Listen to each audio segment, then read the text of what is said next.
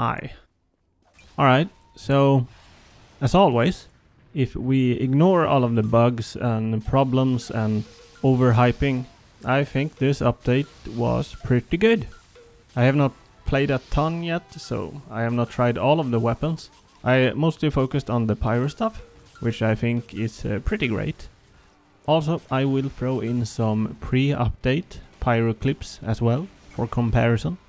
Alright, let's just go through stuff. Um, the new Air Blast I like way better.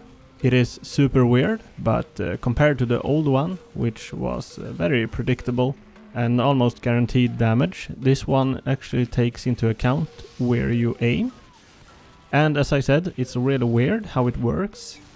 Aiming down will push the target upwards, and uh, aiming straight up also pushes the target upwards. And if you aim straight at the target, you will push him back. So to sort of replicate the old air blast, you actually want to aim in front of your target's feet, like you're firing a rocket or something. So even though it's weird, I much prefer having different options like this, depending on uh, what you want to do. The push force is uh, crazy strong right now too, which really sends people flying sometimes, making them harder to hit usually. And reflecting projectiles feels good too. I'm assuming they have fixed stuff like reflecting while aiming at your teammates, but I guess I don't know. The afterburn nerf is good too. I don't know if the balance is perfect, but if you just touch someone with the flames now, it is now slightly less annoying for them. So that's good. Also, you can now again do crit flares on pyros pretty easily. The new flames feel like they make a little more sense, but they also bounce off walls and floors easily now, which means you can set people on fire by shooting the floor. And I noticed the weird way you could take down sentries around the corners no longer works that great, because the flames just bounce all over the place. Alright, Dragon's Fury is probably my new favorite flamethrower, maybe. Right now though it is very broken because the hits don't always register in a certain part of some maps, which uh, reminds me of that old Pomson bug, I guess. They haven't fixed it yet in the latest patch, so I don't know. Well anyway, I think the Dragon's Fury is slightly too strong. They have to nerf some part of it. I don't think that the attack speed increase is necessary or they could decrease the damage or make it harder to hit with it. It's real good at taking down buildings though, at the moment.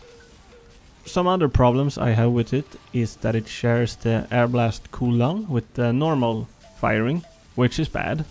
So if you air blast, it takes forever before you can fire again, which just feels terrible. It's okay for the air blast to have a really long delay before you can use it again. That's a big drawback for the weapon, which is good. But it should still work like any other flamethrower and let you air blast whenever. The jetpack is also awesome. Another bug with this weapon right now is that it sometimes doesn't activate, which is problematic. It just smokes like this. And I think it might have something to do with you jumping at the same time, but it only happens sometimes, so I don't know. Anyway, the biggest problem with this weapon is that it takes forever to switch to it. And it feels real terrible. And it doesn't make sense. Again, it's alright to have a delay before you can use the jetpack, but just switching back and forth, there's no reason for it to be so sluggish. If you decide to use it and a spy uncloaks in front of you, it's going to have a pretty easy time gunning you down before you can switch back to a weapon. That's not good. There also doesn't seem to be any impact damage yet when you land on people. They do bounce back though. You also only take like max 10 fall damage or so when using the jetpack. I haven't really tried any of the other pyro unlocks yet. They are not quite as interesting, but they seem alright, I guess. Okay. I only played Spy for like a second but I tried some of the Ambassador and Dead Ringer changes and it's uh, real bad. They did what I wanted, which was uh, fall of damage, but they went real extreme with it. For starters, you should always be able to do headshots, regardless of range. That's the point of the weapon. Other than that, I think the ranges are alright. This is the distance, which you can still do around 100 damage, which is still a good safe distance for a spy, so I think that's alright. But at longer distances, you should at least be able to do, let's say, 40 damage, which would be double the damage of the stock revolver, which would mean that you could always finish off someone below 40 HP if you can hit your shots instead of 21 HP, which would be the reason to use it. But now it's only really a short range gun, the stock is just better at. But still, 102 damage at long distances is uh, definitely not the answer. You should not be able to see a soldier in the distance walking out of spawn with 200 HP and think that, hey, that's a totally viable target for me. I could kill him right now. That should not even be an option for a spy, you know? So they are on the right track, they just messed up quite a bit. And for the Dead Ringer, they also kind of messed up. The reason it's really good right now is because of the speed boost, mostly.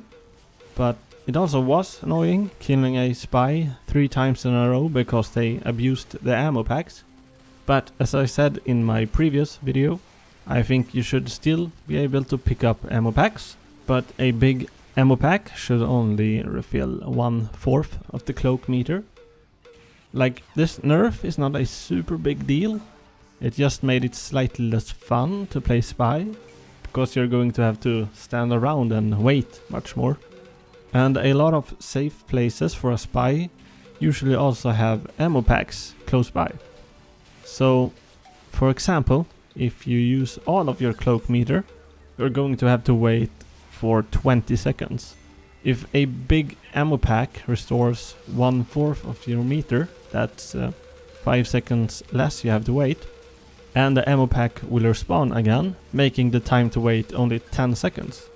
So that is half the time if you're in a safe place and can use big ammo packs. But if you immediately uncloak after triggering the dead ringer and you pick up a big ammo pack, now you have to wait for 5 seconds total. And if you're in a fight with someone, 5 seconds is a long time to survive. So, yeah, that's probably what I would do. Okay. See ya.